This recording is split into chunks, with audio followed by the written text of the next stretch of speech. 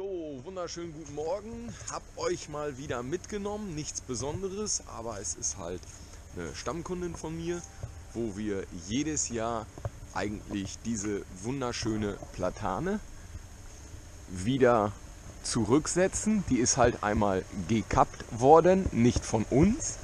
Das tut ihr auch echt bitter, bitter leid.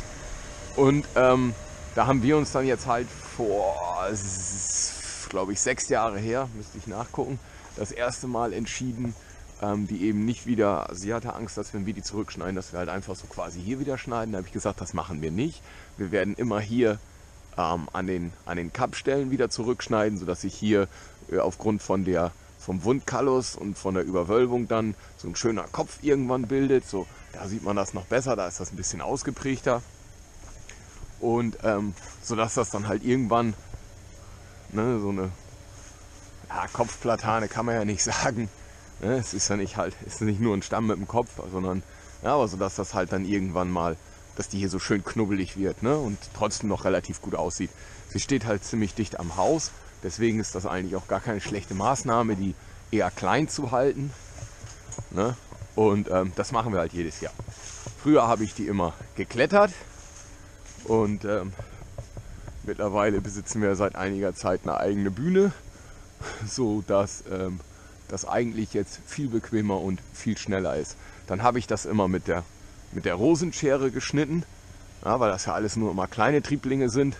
Dann bist du abends aber kurz vor der Sehenscheinentzündung. Jetzt haben wir ja tada hier den, die schöne Kneife von Stiel, die ich euch gleich noch ein bisschen vorstellen und zeigen werde ja, sodass wir das jetzt alles kneifen werden. Okay, äh, wir sehen uns gleich oben in der Bühne. Ich werde heute keinen Helm aufsetzen, weil Lärm wird es nicht geben und Kopfstoßen tue ich mir da auch nirgends.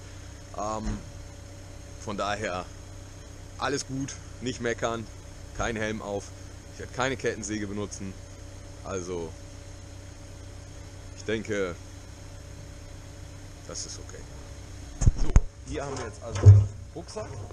Ähm, ich will nicht schon wieder bewertend sein, aber wenn man überlegt, was dieses ganze System kostet, dann finde ich den Rucksack schon so ein bisschen billow. Ne? Also es ist zum Beispiel im Rucksack selbst überhaupt kein Platz für die Schere oder wie zum Beispiel für das Zubehör hier wie diese das Fett fürs Getriebe und, und, und Spray für die, für die Klinge.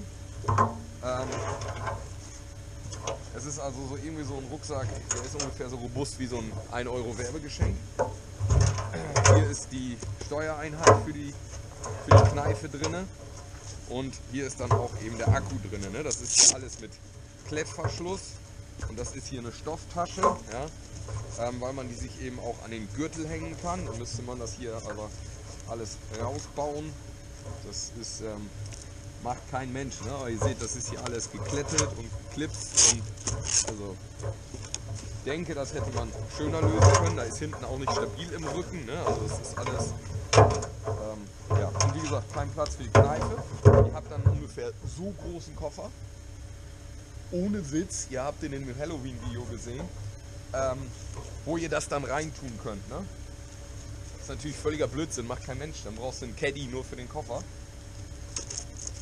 Ähm, ja, das hier ist wie gesagt, ne, der Akku, der rutscht da auch gerne mal raus. Den müsst ihr also hier mit beiden Strapsen gut festmachen. Also das ist halt ein bisschen schade, dass man ein so teures und eigentlich auch sehr gutes, weil ich bin mit dem Kneifi echt gut zufrieden, Produkt in solch einem Billo Rucksack hier verpackt, wo nicht mal Platz ist, dass man das Ding da vernünftig reinstecken kann. Ansonsten habt ihr hier vorne habt ihr hier vorne dann den Computer, wo ihr den anmachen könnt. Da seht ihr dann auch so Sachen wie Batteriestatus und so eine Geschichten. Ja, wir sind jetzt noch nicht angefangen, der ist voll. Ich nehme jetzt mal doch mal die Schutzfolie ab. Ich glaube, ich werde das Ding doch kaufen. Ähm, so, und dann habt ihr halt verschiedene Funktionen. Die Schere ist halt, wenn ihr alles richtig gemacht habt, ist die halt zu. Dann drückt ihr, dann geht die auf. Das ist ganz, ganz offen, also ganze Stellung für, für dicke Äste. Also ihr könnt da echt auch Besenstiele mitkneifen. Wobei man sagen muss, ihr seht das vielleicht, die Klinge ist auch schon so ein bisschen zerschrabbelt. Also wenn man da wirklich mal dicke Sachen mit, richtig dicke Sachen mitkneift, die leidet also auch schnell. Aber da gibt es so einen kleinen Wettstein bei, dann macht man die wieder scharf, das ist nicht das Problem. Die hat echt Kraft und ist alles besser als eine Sehenscheinentzündung kriegen. Dann müsst ihr einfach gedrückt halten, dann geht die zu, so lange wie ihr drückt. Und wenn ihr zweimal schnell drückt, dann geht die eben nur halb auf. Das ist dann für dünne Äste, dann seid ihr mit dem Kneifen wesentlich schneller, als wenn ihr die ganz aufmacht. Ne? Das ist dann halt, wenn ihr nur dünnes Zeug habt, dann macht ihr die nur halb auf und dann geht das rund. Wenn ihr dann die ganz offen habt und ihr macht Feierabend, dann drückt ihr zweimal kurz, haltet gedrückt, dann habt ihr gerade das Piepen gehört, dann bleibt die wieder zu, dann kann man die wieder in die Tasche oder in diesen Mörderkoffer packen. Die kann man nämlich hier entriegeln, so mit so einem Schraubverschluss und dann kann man die abnehmen und dann kann die in den Koffer. Ist verpolungssicher. Ne? So, jetzt hat sie sich halt abgeschaltet und dann so ist sie wieder offen, könnt ihr wieder arbeiten. Halbe Stellung, ganze Stellung, zweimal gepiept, aus. Idioten sicher. So, dann wollen wir das Ding jetzt mal bei der Arbeit beobachten.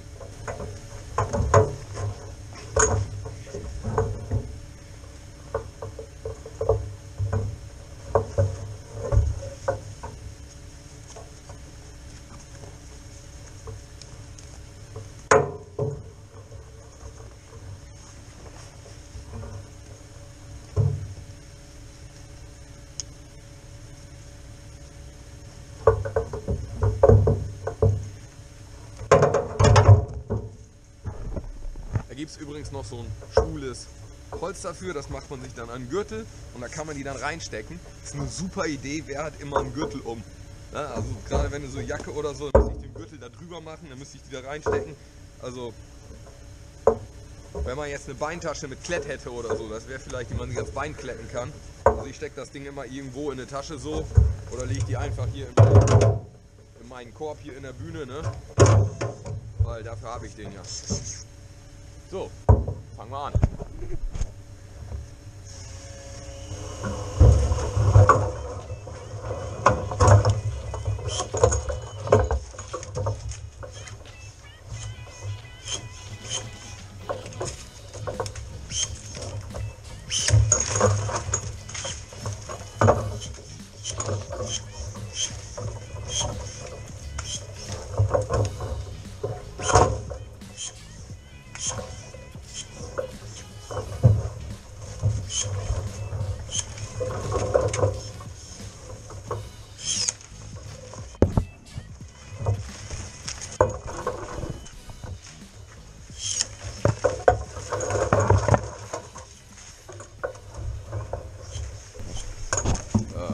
Ja selber, ne? Platanen sind beliebte Alleebäume.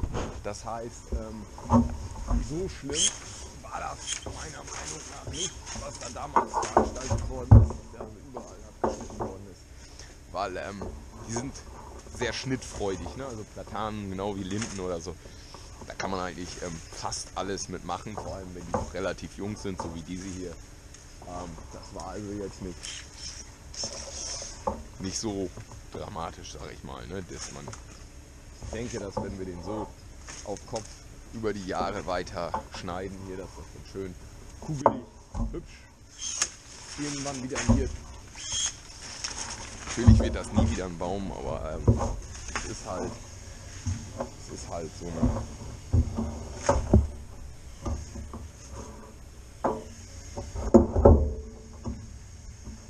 so eine Pflegegeschichte. Ich finde, es sieht ganz okay aus. Ähm, wird bestimmt mal. Wird bestimmt mal hier, wie gesagt, hier wäre überflüssig jetzt ähm, mit der großen. Das, wär, das würde zu lange dauern, deswegen machen wir das mit dem kleinen Knips, Schnips. Ne? Für solche Sachen reicht überwiegend die kleine, die halbe, halbe Öffnung. Und dann geht das ratzi, fatzi. Ja. So, ja, dann nehmen wir jetzt doch mal die große, zack, umgeschaltet, zack, ab. Überhaupt kein Problem.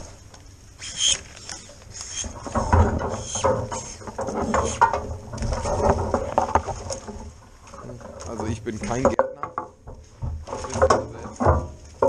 aber ich möchte gerade für solche Rückschnitte ähm, und wenn man viel im Außenastbereich auch bei anderen Bäumen unterwegs ist, dann möchte ich diese Schere eigentlich echt nicht mehr missen. Ne? Das schont das Handgelenk. Ob man jetzt bei Akku.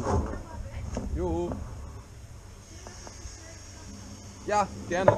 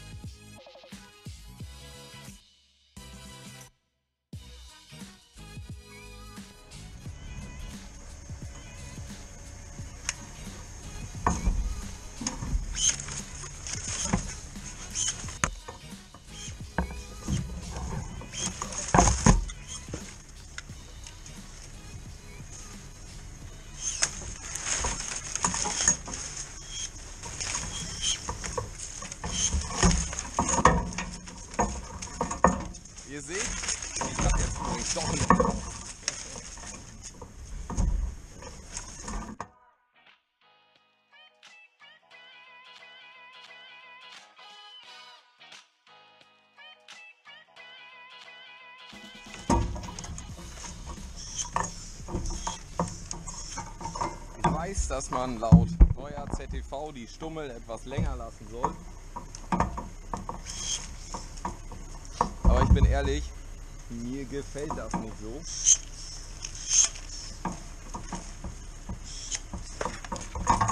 Und da das hier keine Ausschreibung nach ZTV ist, sondern,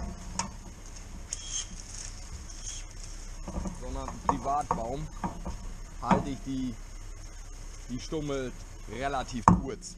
Ja, das finde ich einfach, sieht ein bisschen schöner aus, als wenn da immer so ein aber wenn das wie gesagt jetzt ein Straßenbaum wäre, der nach ZTV ausgeschrieben ist, dann steht ja jetzt drin, ihr sollt hier etwas länger lassen. Anfangsdiskussion war ja, dass man jedes Mal wieder unter den Kopf geht und das alles wieder mit weg ist. Gab es ja lange, lange hin und her.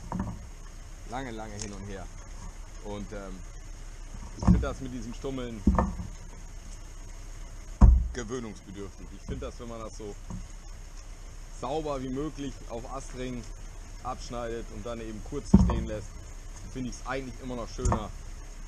Aber ist klar, wenn man länger stehen lässt, ist die Wunde auch kleiner, dann verschließt er schneller und so. Am schlimmsten ist das, was die hier früher gemacht haben, das seht ihr ja. ne, blank rasieren. Ne? Das, das, das macht man nicht. Ne? Das ist. Nein, no go. Ich vermute mal, dass diese Schere eigentlich so eher für Gärtner, ne? so Rosen schneiden oder für Winzer, Weinreben abkneifen, ne? dass die dafür gemacht worden ist.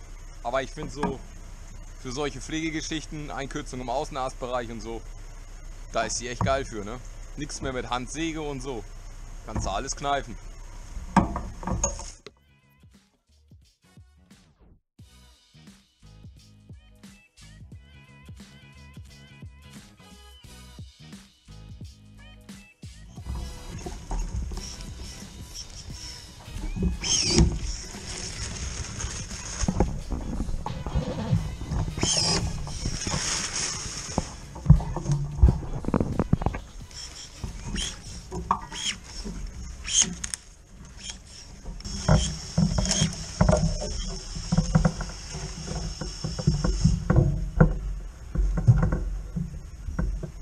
Gesehen, ne? das Problem mit dem Rucksack ist, der schiebt einen den Helm auch schon mal vom Kopf runter, ne?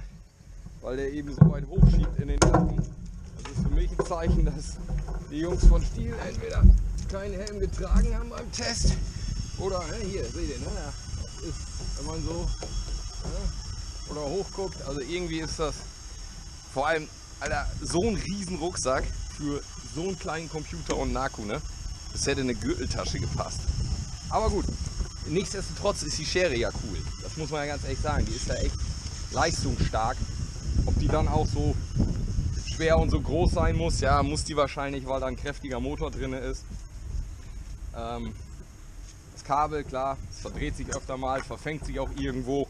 Logisch, brauchen wir nicht drüber reden. Das sind aber Luxusprobleme, klar, das ist Meckern auf hohem Niveau, weiß ich. ja, alles ist besser als von Hand, ne? aber es ist halt auch alles echt noch stark verbesserungswürdig, wenn ich überlege, was das alles immer kostet. Das muss man mal überlegen, ne? was dieses kleine Pimmelding hier kostet. Ähm, macht dich schneller, klar, wirst du gesehen also sein Geld irgendwo wert, also es trägt sich, aber ähm, die, die Schere ist gut und robust verarbeitet. Warum ist dann der Rest so billo bei dem Preis? Warum ist das alles so halb ausgegoren? So als wenn, als wenn der Designer oder der Konstrukteur so nach der Schere keinen Bock mehr gehabt hat und den Rest einfach so hingefotzt hat. Hauptsache es wird fertig und funktioniert. Weil die Schere ist echt gut und geil und der Rest ist irgendwie so, hier mach du mal weiter, weißt du, ich habe keinen Bock mehr. Äh, ich weiß nicht, so kann man auf Dauer die Kunden nicht glücklich machen. Muss ich ganz ehrlich sagen. Aber klar, wir sind speziell, wir sind nicht die große Masse und Stiel braucht natürlich die große Masse. Und die große Masse sieht unsere Probleme halt als Luxusproblem, ne? weil die stehen halt nicht in der Bühne und haben keinen Helm auf und da stößt es denen eben nicht an den Kopf, weil sie da anders nicht rankommen. Ne? Die testen ja wahrscheinlich auch alles immer nur unter Optimalbedingungen. Ja? Aber der Alltag sieht halt leider anders aus. Das ist das, was wir oft genug schon angeprangert haben. Aber wie gesagt, ich finde die halt cool, ne? gerade so mit diesen zwei Funktionen, dass du. Aber jetzt sieht man auch schon wieder, ne? die, die Klingen, die leiden. Ne? Obwohl das hier jetzt keine Arbeit ist, die. Also meine Felco hat länger gehalten. Da sah die Klinge nach einem Tag noch nicht so aus. Ja?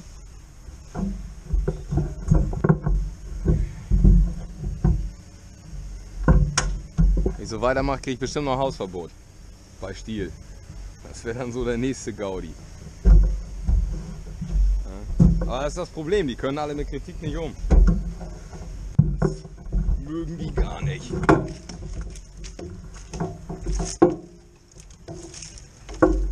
das ist ja auch alles Quatsch und das soll gar nicht so benutzt werden und das richtige Geseier.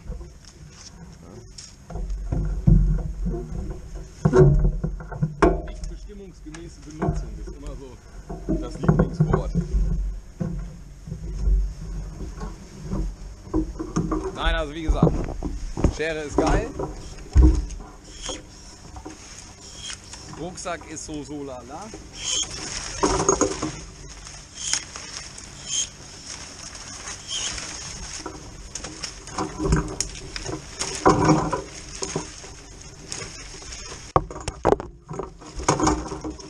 Leistungsverhältnis ist damit auch eher so lala.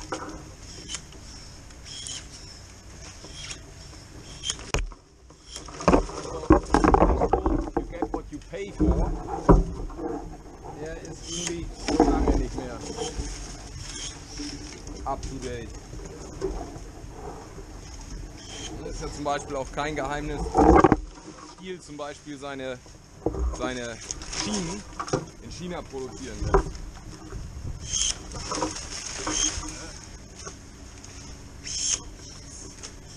Steht ja sogar auf den Kartons drauf. Also denke ich mir jetzt nicht aus.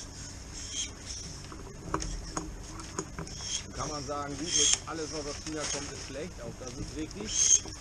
Aber das ist ja auch ein Zeichen, dass die auch einfach nur billig produzieren wollen. Ne? Das steigert dann ja auch die Gewinnmarge noch. Wenn man das billig herstellen lässt, aber teuer verkauft, ist doch super. Besser geht's doch gar nicht. Fördert natürlich auch die Ausbeutung in diktatorischen Ländern, aber das ist ja bei der Globalisierung und beim Welthandel gewollt. Ne? Afrika hat die meisten Bodenschätze neben Russland und China und so. Ist aber eins der ärmsten Länder. Warum? Weil der Krieg und die Zerstörung und der Hunger und der Elend, der ist da gewollt, damit nämlich der Westen dieses Land ausbeuten kann und nicht die Einheimischen. Und damit der Westen sich eine goldene Nase an dem Land verdient und nicht die Einheimischen. Von daher braucht ihr euch da gar keinen Kopf machen. Das ist alles so gewollt und da ändern wir auch nichts dran. So. Ich glaube, das war der letzte. Der Baum ist fertig. Fertig. Und aus.